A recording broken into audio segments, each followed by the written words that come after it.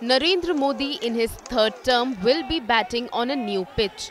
From 2014, Modi has been heading an alliance government but he had clear majority and was not dependent on his allies. With the BJP not clinching majority on its own, this time the Modi Sarkar will be an NDA Sarkar in its truest sense. देशवासियों ने भाजपा पर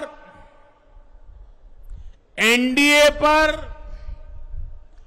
पूर्ण विश्वास जताया है आज की ये विजय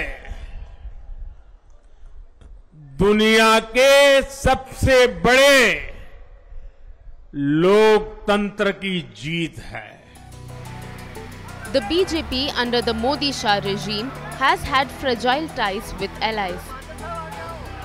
Its oldest partner, the Shiromani Akali Dal, walked out of the NDA in 2020 after the central government pushed through farm reforms law.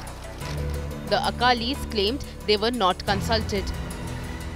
ये कोई कुर्बानी नहीं है ये हमारा फ़र्ज़ है हमारा असूल हम श्रोमणी अकाली दल असूलों की पार्टी है और ये अपने असूल को कॉम्प्रोमाइज नहीं करती तो बादल साहब अब आपने एनडीए गठबंधन से बिल्कुल अपना रिश्ता खत्म कर लिया। अब आगे आपको क्योंकि बिल पास हो चुका है इस बिल के खिलाफ किसानों के साथ किस तरीके से चलेंगे? हमारी कोशिश होगी कि सबके सबके साथ संपर्क किया जाए।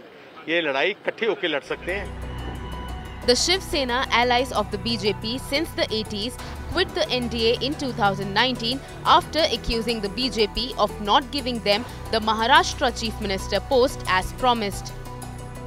कि अमित भाई से जो जब मेरी बात हुई थी तो मैंने उनको यही कहा कि मैं एक ना एक दिन शिवसेना का मुख्यमंत्री बनाऊँगा ये मेरा वचन मेरे पिताजी को मैंने दिया हुआ है अगर आपके साथ आकर वो बन सकते तो आपके साथ, नहीं तो आपके बिना BJP got its revenge when the Shiv Sena split.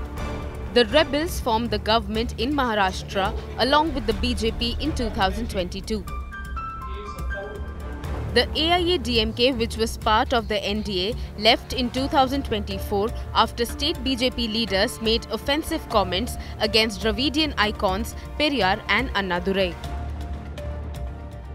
Chandrababu Naidu and Nitish Kumar, whose support will be key to Modi, have also walked out of the NDA in the past.